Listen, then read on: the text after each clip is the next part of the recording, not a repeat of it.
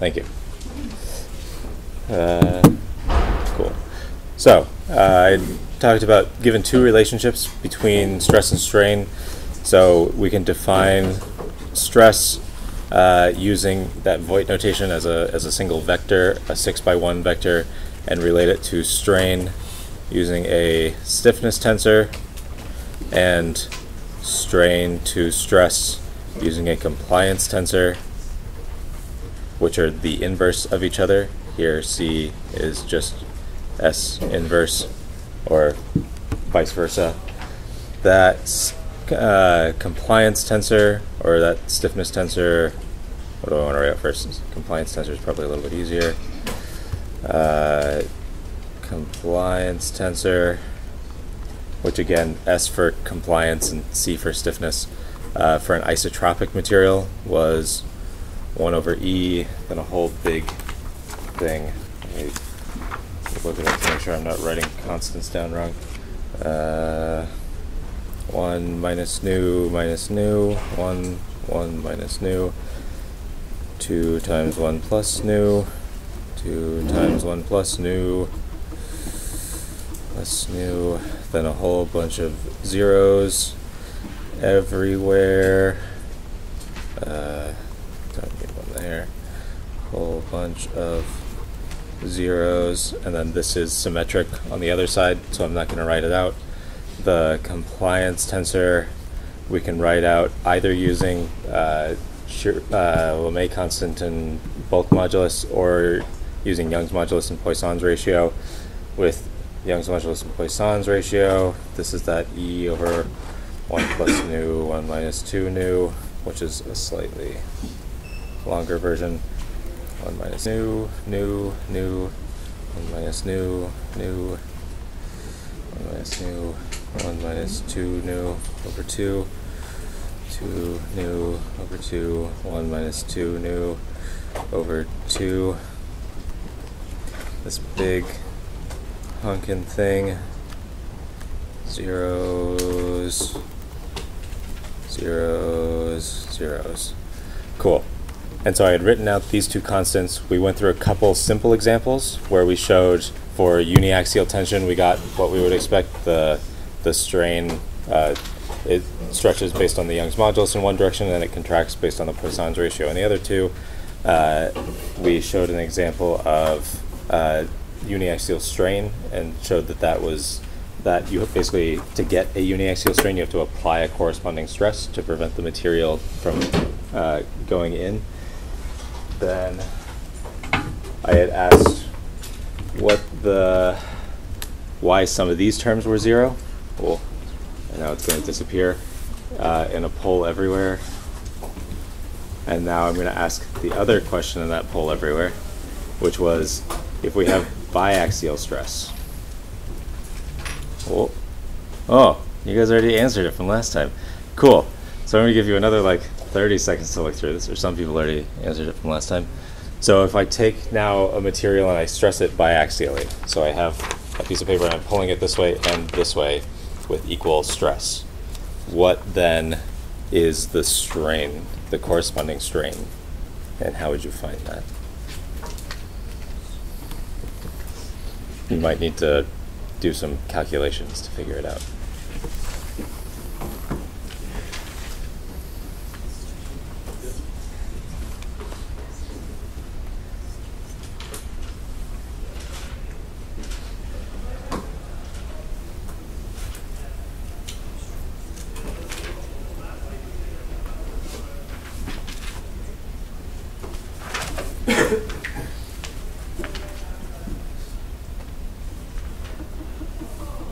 Okay. Take 30 seconds and talk to your partner about it while I actually draw this thing out.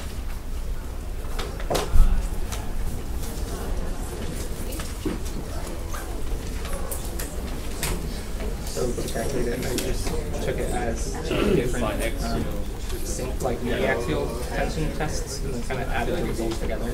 So you have because it's um, you're talking about strain in, in the transverse direction, not in the axial direction. It's uh, Poisson's ratio is a constant you use, so negative Poisson's ratio times the stress um, over Young's modulus, and you have that twice because you're doing it both directions. And so it would be negative two Poisson's ratio sigma over. Oh. At least that's what I Yeah, two axes. So if you have a, uh, let's say you have a block like this,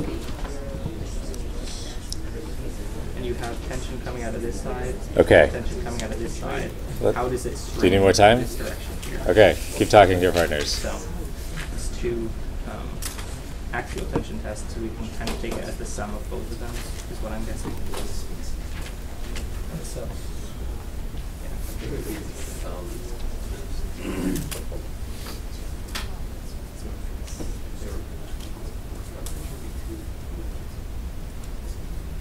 Okay, things are quieting down. Do you still want more time, or is that good? Okay. So, now we have a uh, biaxial stress, so stress in the x and the y, and we're trying to figure out what the strain in the z direction is, if that's unconfined. So our stress we can write out to something like that, where there's x, y, and then nothing for the rest of them, and I want to figure out what my strain is. So to figure that out, I could plug my stress into here, effectively um, multiply out a stress sigma sigma zero zero zero zero, uh, and I could pl- plug that in and figure out what my strain now in my z direction would be. Which, if I did that, I would get there's a, uh, a negative nu a negative nu, and all a whole bunch of dang it. I was gonna, and zeros just because I might as well write them out. Uh, if I plug that in, then I would get sigma minus nu, sigma minus nu. So my strain now, um, I guess, in the z direction, that which is that third row there, is negative two sigma Yes. Over E. over e. Ha. yes. Thank you. There's an e out front that carries through. Um, yeah.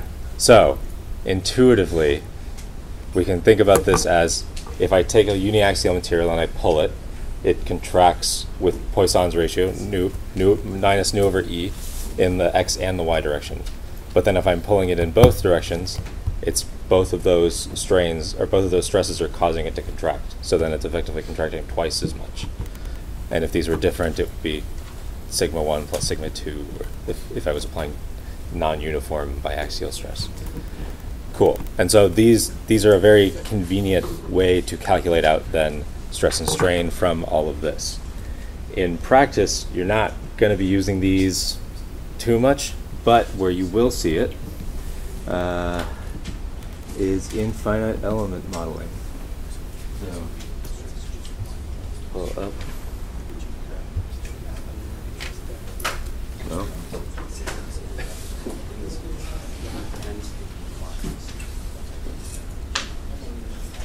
Maybe.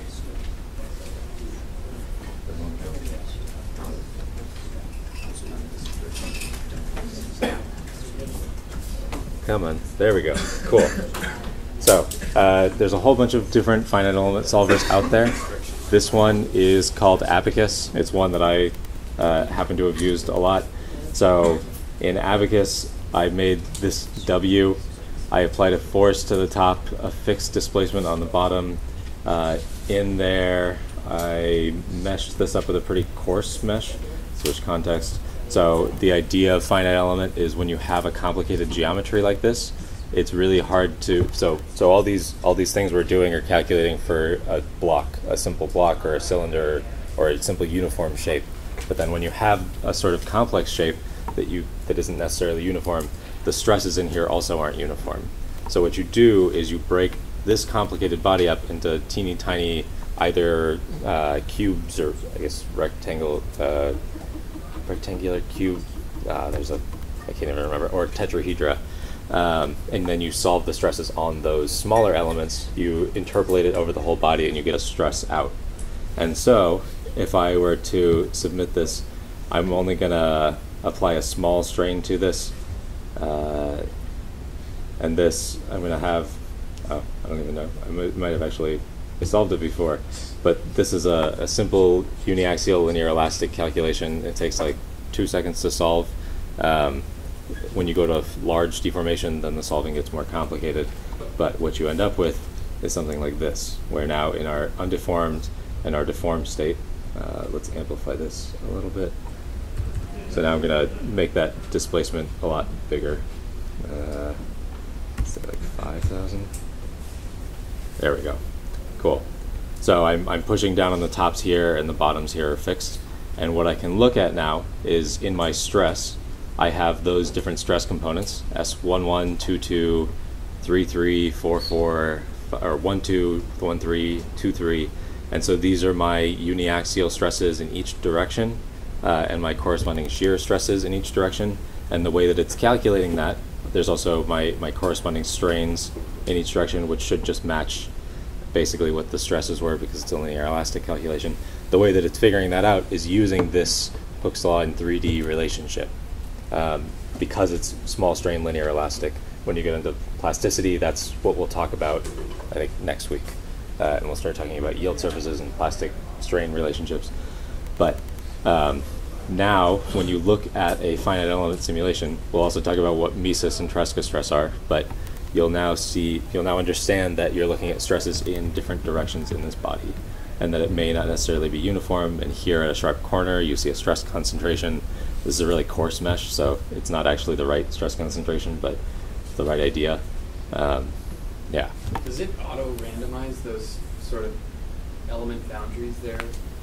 Like on the left, it's pretty much linear, but on the right arm, it's kind of scattered. Oh yeah. Was that intentional, or is that No, that's- part of the program? That's random. Oh. Uh, mesh uh, mesh creation is actually one of the more complicated parts of finite element. The algorithms are really complicated.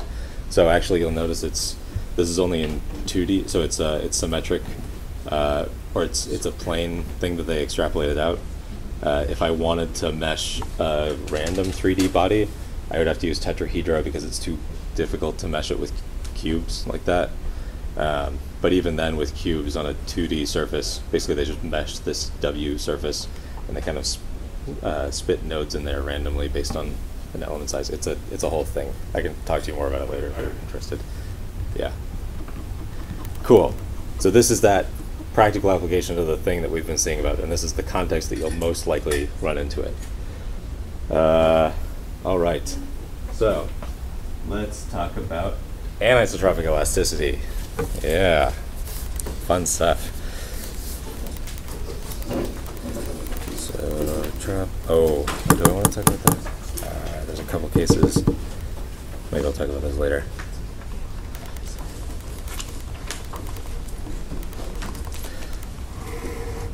So there, there are also a couple simplified cases of plane stress and plane strain that I want to talk about. Put them in the notes. So, uh, sure, I'll talk about it really quickly. So, this 3D relationship works for an arbitrary body, uh, but sometimes as engineers we want to simplify these these relationships because that can be a lot to work with, especially if you're doing it by hand. So there's a couple simplifications that get used pretty commonly called plane stress and plane strain, where if I have a really thin sheet like this, I can assume because of the free boundary on the surface, the stress on this surface in this direction is zero and on this direction is zero. Um, so I can assume that if I have a thin body like this, the stress through the thickness is approximately zero. Uh, so I have a plane stress condition where stress can only exist in the xy plane. Uh, and there's a simplification to this based on that. Conversely, if I have a really thick body, like I'm, if I was in the Earth or something, uh, it's uh, it would be difficult to strain in the thickness direction, and so I could assume the strain in the thickness direction was approximately zero. And there's another simplification based on that. I have that in the notes, uh, and I don't know if I want to talk about it today, uh, but it's it's in the notes that I posted on Wednesday, uh, and I guess will be in the notes that I continue to post. But right now, I'd rather talk about anisotropic elasticity because it's useful for your lab. So now we have these two relationships for stiffness and compliance, or compliance and stiffness. I want to generalize this. So this is useful for isotropic elastic materials, which not many things are. We assume that lots of, particularly metals, are uh, in any polycrystalline grained material. But uh, if, say, I have a carbon fiber composite, it definitely is not a valid assumption. So um, there's the generalized form of these, which I can write out oh, now. Uh, I'm going to write out my compliance tensor. So now I can say uh, I had written out before S11, then I had copied that S12, S11, S11, because these were all the same. Now I don't necessarily want to do that. So I'm going to have this as an S12, S13, S14, S15, S16, S22, S33, 4, 5, 6, S2, 3, 2, 4.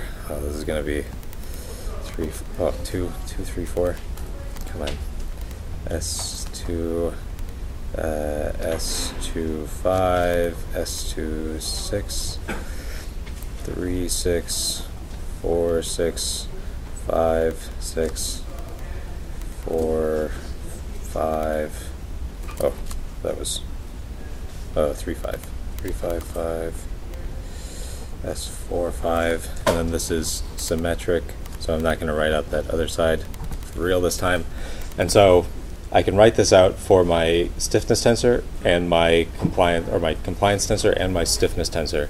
And I can say now for an arbitrary body, if I don't know exactly what's going on, any of these could be non-zero. So for our isotropic material, all these were zero, which you remember that means if I push on a body, I don't expect it to shear, or if I shear a body, I don't expect it to contract or expand axially. But that's not always the case. Like I had mentioned, if you have a crystal structure that's uh, not necessarily square, and I had something like that, if I pushed on it, I would actually get some shear outward. So these values may not necessarily be zero. Most of the time that we assume they are, um, but they're not necessarily. Uh, similarly, for an anisotropic material, the stiffness here and the stiffnesses here in each the x, y, and z direction may not all be the same. Um, and same for shear relationships. So this is the most general form of that compliance tensor. We're going to look at a couple examples of that, but first I'm going to give you a simplified version that is actually relevant, which is for transversely isotropic materials. So for transversely isotropic materials, transversely isotropic, that means that the properties in one in one direction are different and in two directions are the same. So uh, properties I have uh, property one in some direction, and then I have property two in the other two directions. So this is useful for, say, a carbon fiber composite, where I have um, fibers along this direction. Fibers. Um, so the in the fiber direction it's stiff, but in in the orthogonal to the fibers it's the same regardless of which direction I'm looking at, as long as I'm, I'm orthogonal to the fibers. This is useful for trees actually. So if you think about a tree, you have wood grains on a tree that are kind of circular. Um, and those that those rings around the tree mean it has one stiffness in one direction and approximately equal properties in the other two directions. This is useful for cold rolled metal or for rolled metals. So if I had in that, that first day when I have those those long metal grains kind of aligned with whatever direction I'm rolling stuff in. Grains. Uh, long metal grains. Cool. So it's anisotropic relative to this direction. I have some properties in this direction and then approximately equal properties in the other two directions. So this transversely isotropic, so it's uh, in the in the transverse directions in the x, basically the if this is my x and the y and z, it's the same. So it's isotropic in one plane, but it's anisotropic in that third plane. So for those types of materials, I can write out a much simpler form of my compliance tensor. Where now I'm not going to pull out my uh, my stiffness out front, but I'm going to have 1 over EX, where EX is now the stiffness in that one direction, or 1 over E1, uh, negative nu YX, YX over E Y, nu ZX over E Z, oh, uh, but these are the same, so I'm going to replace that. Uh, y x over e y 1 over e y nu z y or uh, nu, nu sure zy which is the thing over ey and then 1 over ey here then I'm going to have uh, this is also my nu, I'm going to switch these up and I'm going to tell you why in a second. EX, negative nu uh, XZ over EX, nu YZ over EY. Uh, this I need to expand a lot. I'm actually still going to have zeros all the way out here. So I'm going to ignore all of those. I'm going to call this a 1 over g y z, 1 over g y z, and 1 over g x y. Also zeros here. So what I basically did is I say these if if that nu if this was an isotropic material, these would be the same relationships as I had before. Uh, I had a one over e out front. I had a negative nu here. I had a one over e everywhere. Yeah. Um, for this tensor, what would the coordinate system be that would line up with like which one is that anisotropic direction? So this would be uh, right. I guess I wrote it a little bit weird. Uh, x. If I do y, y z, something like that. Yeah.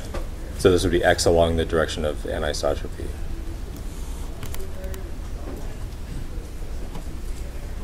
So what I did is I say now my EX and my EY are two different values, and that EY is the same in all those directions.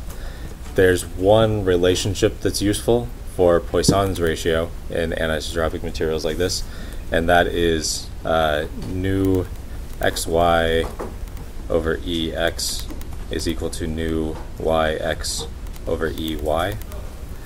So my Poisson's ratio isn't necessarily the same in all the directions. It does change with these anisotropic materials, which you will see a little bit in the lab um, for because you'll be testing now carbon fiber composites in one direction and in the other direction.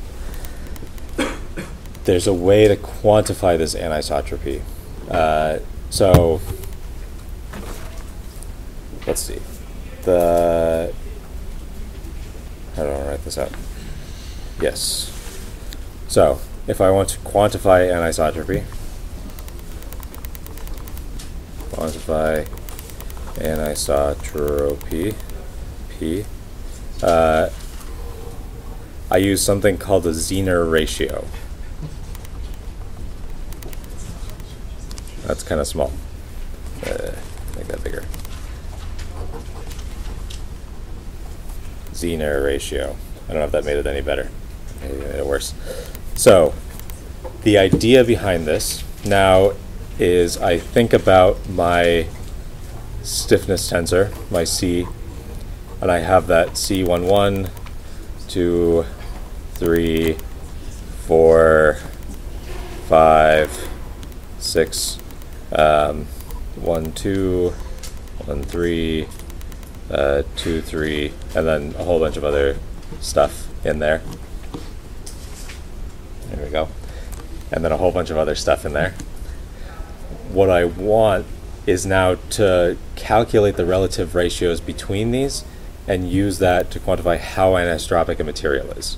So uh, what I'm going to do is I'm going to define some constant A that's equal to 2C44 over C11 minus C12. And if I were to plug stuff in from my previous compliance tensor, so I have 1 minus 2 nu, so uh, if this was an isotropic material, uh, how do I do that? Let's do this. Did this show up? Yeah. Cool. So I would have a 1 minus 2 nu over 2 times 2. This is my C4. Uh, all over E, or I guess times that times that funky constant E out front that I'm going to leave out because it's going to cancel. Um, I have a 1 minus nu for my C11, and then a minus a second nu. So then these 2's would cancel out. I would get 1 minus 2 nu over 1 minus 2 nu, which would just be 1. So for an isotropic material, if that 2C44 over C11 minus C12 is 1, I can say my material is isotropic based on this Zener ratio quantification. There's a, handful of other ways to do it, but this is a, a simple one that often gets referenced. But for any anisotropic material, these, this may not necessarily be one. So, for example, uh, there's a nice table of this actually in the Meyers and Chawla book, but I'm going to write out a couple of these here. So, example for metals. Uh, if I have a couple different FCC metals and a couple different BCC metals, FCC metals, uh, let's look at copper, copper, uh, gold, and aluminum. That A here is approximately equal to 3.7, uh, 2.7, and 1.2. So that means copper is a very anisotropic material. This is the perfect single crystal of copper. Uh, the perfect single crystal of aluminum is pretty isotropic, maybe less so. But remember, for engineering materials, we very, very rarely have a single crystal. Uh, generally, we have a whole bunch of polycrystals all kind of up around together. And the, this anisotropy will affect how those grains interact, but we kind of ignore it and we say it's isotropic. And to actually understand it, you got to go really, really deep into the science of it. But you should at least have this in mind when you're thinking about how materials are deforming. Um, BCC metals now, there's a couple. Um, let's look at lithium, iron, and tungsten. And lithium is a very, very anisotropic material, which is about 9.4. Uh, iron is about 2.4. And tungsten is actually pretty close to 1, like within a margin of error. So tungsten kind of randomly is just a very isotropic crystal structure. I don't know if there's necessarily a reason why, but kind of serendipitously it is. Cool. So, I'm going to stop there and give a couple seconds for questions or thoughts or concerns.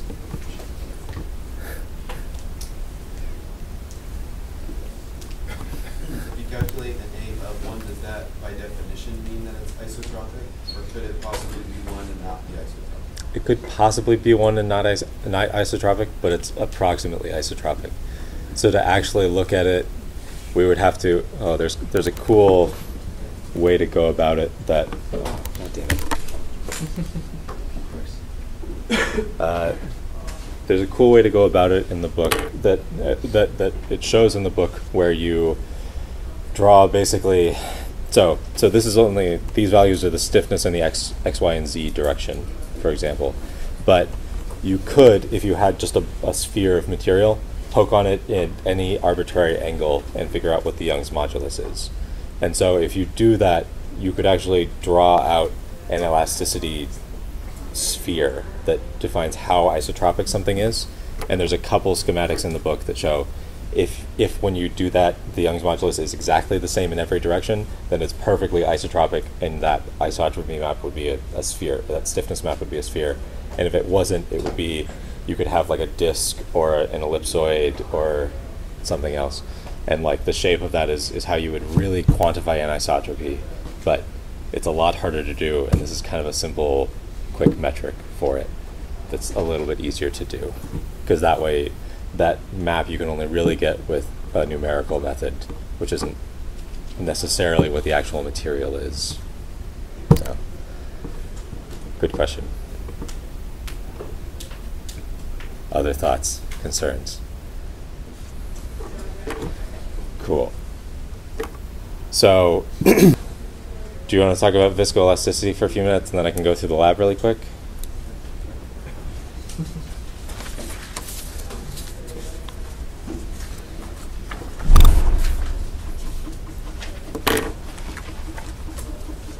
I know you, I know you've recorded some notes. Uh, yeah, I, I put it on. Okay, here, go for it. So I have to write it out. Go over the edge. How much time do I have? Five, ten minutes, Okay, five, ten minutes. Sure. and then I'll go through the lab. Um, so in that case, I'll just um, I I did a printout of the notes that I posted a few days ago. Hope you guys take a look of it. Um, so in short, um, I'll try to summarize what what this note is about. Um, so in viscoelasticity, we're just um, describing the time-dependent material behavior of a material tends to depend on um, several physical factors. Um, one dominant um, factor is temperature, um, especially for polymetric uh, material, even composite. At different temperature, it, it shows a certain degree of like viscoelasticity, and that also um, strain rate is also another factor. Um, the rate you're pulling material, I think Professor Lucas mentioned it a few lectures ago, and how fast you pull the material um, varies the stiffness of the material as well, and that's one um, pro- properties of viscoelasticity as well, and humidity and also strain level too, which is um, a lot less common, but could be one of the reasons as well. Um, so the applications, in short, um, we study viscoelasticity is to study material that showcase such property, but such materials are used a lot in um, one example in, in structural. So a lot of high-risk building, which which is located in somewhere that's um, prone to earthquakes, they have this um, what we call um, steel plates coated with viscoelastic polymers. So basically, trusses, and then the middle of the trusses has this uh, damper that absorbs the shock from um, shearing due to earthquake. And then you also uh, use it for um, safety material like helmets because they're good. Um, the, the main reason is because they absorb impact energy really well. Because um, you don't really fully elastic material will store energy and release the energy. So in the case of like um, safety, like you try to protect your your, um, your head some somewhere that's um, crucial for your body, you absorb those energy. And one interesting thing is in biomedical um, te- technology, uh, scientists actually try to um, characterize the um, viscoelastic properties of biological cells and biological tissues. So one really interesting fact is um, cancer cells. Um, they, they try to measure in stiffness and viscoelastic property of cancer cells and healthy cells, and they found cancer cells a lot softer than um, healthy cells. So they use this uh, technique called atomic force microscopy. So it's a cantilever that's like really really small and over here, and then it they prop on on the cell which is on that brown thing over here, and then measure like the um, um, kind of like the stress and curve of it. Yeah, pretty cool. Yeah, which is also part of beam bending because uh, you have to know the flexural rigidity of the um, atomic force microscope. And most of most of the time it's made of um, silicon or alumina, which is a type of silicon as well. Um, so I'll just go straight to um, two ways we can quantify um, viscoelasticity. One is what we call stress relaxation. So the idea is if you have a, a material and then you pull it in a step strain. If you guys heard of step function, the term. So you pull it like instantaneously, and then at the same time, you try to measure the stress. So you measure the stress time, and then normally for a viscoelastic material, you can see this like curve, and it eventually converges to a certain value. For for an elastic, full elastic material, you will not have this um, like decay over here. You just have a, a straight curve because it's not time dependent.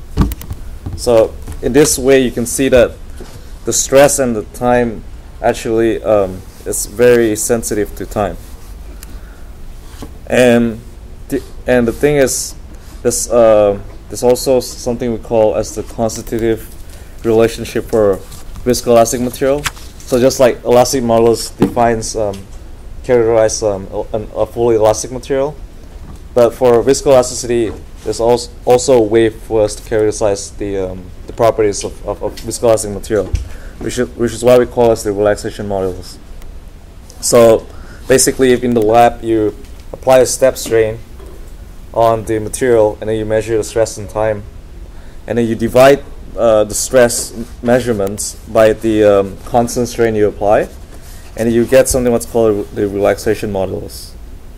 So theoretically, relaxation modulus should stay uniform, uh, regardless um, epsilon naught, regardless the uh, strain level. So this is to be consistent with uh, what we call as uh, standard linear viscoelasticity. But it only normally works for small strain, like five percent or less. Like more than that, uh, normally it will start uh, behave um, having a different trend over here. and another way we can characterize um, viscoelasticity is something we call a creep behavior. It's just the total opposite of it. So creep behavior is when you apply a step stress. So I think it like um, a, a, a, rubber, and then you put um, a dumbbell on top of it, and you can try to measure like over time like how much deformation is happening. So you get so imagine like you put a dumbbell with this um, stress value or weight, and then you measure the strain, and you can see that it's also started conversion to a certain value. and you do the same thing. You divide by the um, constant stress or weight that you apply on the material, and you get the creep modulus. And like I said, creep modulus also stays about the same despite a different sigma naught you apply. And then quickly, um, there's uh, several ways or several models that um, most people use to try to model this behavior. And one simple one, if you guys take in like system dynamics, like spring, spring and dashpot or, or damper is, is, is, very commonly used. There's two config, uh, three configurations that um, we like to consider. This is what we call the Maxwell model. So you can see that the spring and the dashpot or the damper is in series. And then you have a Kelvin model here. Um, instead in series, you have in parallel, right?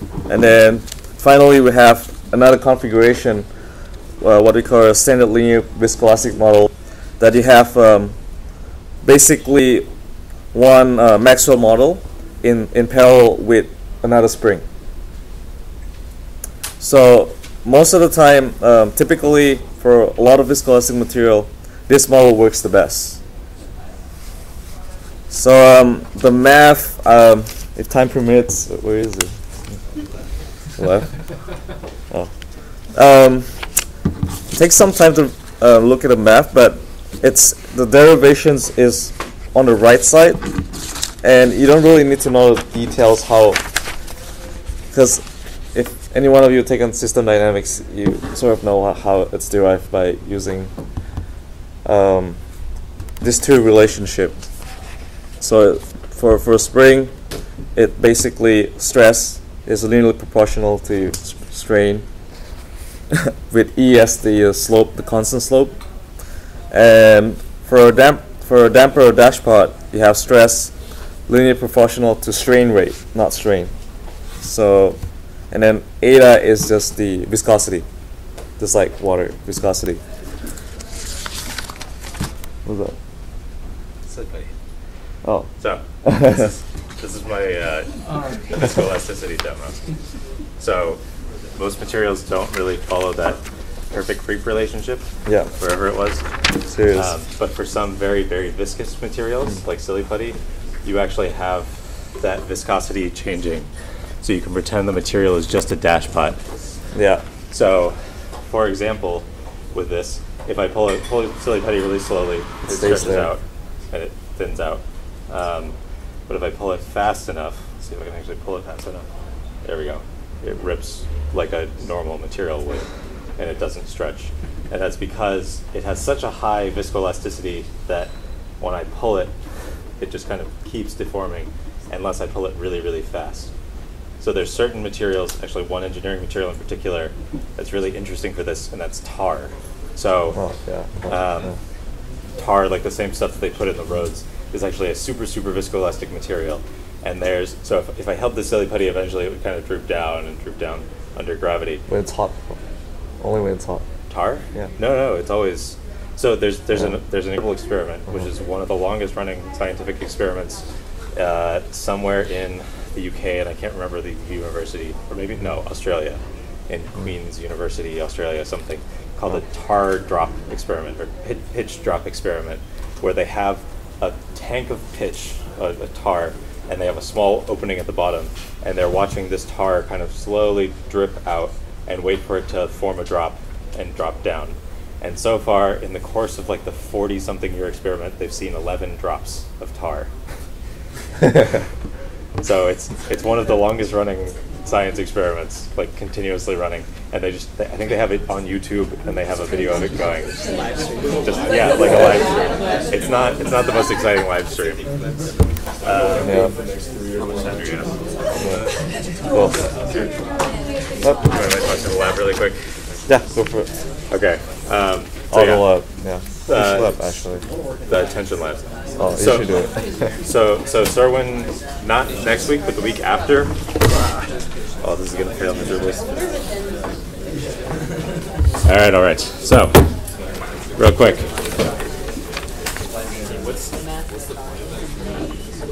To show that tar is viscoelastic. Because it's they they knew, but but it's the kind of experiment where it's like yes, it's viscoelastic, but it takes five years for a drop to form. So you have to have somebody who has the the ability to invest that sort of ridiculous amount of time to say, look, I'm going to prove it to you, like a decade from now, you're going to see a drop. No, they have they have a viscosity for it, and that viscosity is like I don't know, ten thousand or ten billion times the viscosity of water, for example. But so uh, next, not next week, but the week after, we'll probably have Serwin do the viscoelasticity demo, so you'll be able to calculate some creep constants. Uh, that's the one we were going to do this week, if a typhoon hadn't hit Japan. I know, a butterfly flaps its wings. Uh, no. So next week we will be doing the tension lab as scheduled. So, tension lab. So, Is that a formal write-up? Yes. Was the previous one informal? It was the lab write-up. Yeah. that was just a write-up. This one's a. This one's so the la- the last one you just had to do the analysis and the discussion. This one you also need an intro, a, uh procedure, conclusion, abstracts, uh, all of that kind of written out. So it's supposed to be a more technical writing document. Yeah. How much of the lab manual are we able to reference or like reword? Uh, what do you expect from us as far as kind of rewriting the lab manual? So we'll, Yeah, that's good- for example, we'll we'll give you a procedure and a setup, um, but you can take. So we'll we'll give you a picture in the lab of the thing and of the samples. You can take a picture on your own, or or steal a picture from your friend who took one uh, of the actual experiment that you were doing. We'll want you to take pictures of the thing before and after testing. So there's there's four materials that we'll test, or two, three materials, I guess. uh, a 6061 aluminum, uh, hot rolled A A36 steel, and then carbon fiber composite, both in the fiber direction and orthogonal to the fiber direction, where you should see a pretty big anisotropy in the properties. And so the steel and the aluminum should neck, and you get the either a cup cone fracture or a brittle fracture, and you'll see which is which. Um, and then the carbon fiber orthogonal should just kind of pop really lightly, and then the fiber direction should go bang. Um, yeah, and so the trick with this lab is actually so you'll have a couple uh, rectangular test tension test specimens for the metals and tabbed specimens for the composites. Uh, most of this lab, the intense part of this lab, will be the data analysis. So we'll give you, you'll do four experiments in the lab, and we'll give you another two for each lab, so eight, so 12 data sets total that you'll have to then, uh, I have an example. Uh, this isn't actually the data you'll see, this is from some of my research, but you'll have to figure out the Young's modulus, yield strength, max peak strength, uh, all of that from the experiments for each of those 12 data sets. So the intense part of the lab will be this sort of data analysis, which you can do in Excel, which you can do in MATLAB or Python. And next Monday, I'll talk through how you would go about it in MATLAB or Python. We'll try to give you a couple codes to get you started in MATLAB and Python. Um, so you're not starting at ground zero, but that'll be the time intensive part. You'll also have two weeks to do this lab instead of one. So, um, yes, tension specimens. There's the the same uh, stress strain, true stress strain theory that you'd seen before. Uh, a couple examples of brittle hardening, and then some composite theory, some carbon fiber composite equations you can use. Uh, and we'll give you material properties once we figure out exactly what they are. Are we Questions? gonna take like multiple measurements at each like data point so we can actually do like a standard deviation? So that's why we're giving you. So you'll do one test in lab, and we'll give you two extra ones for and each experiment. To. And then you'll get standard deviation, average. Okay. Yeah, Because that's like kind of impossible with one then. yeah. Okay. So that's why we're giving you the extra two, just because there's not time in lab to actually do it. Cool. Uh, homework one is graded up here on the top. Uh, it's in alphabetical order.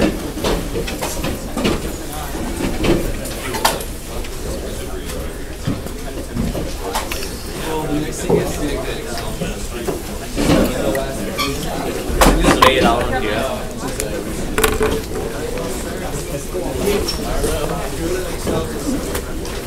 Hey.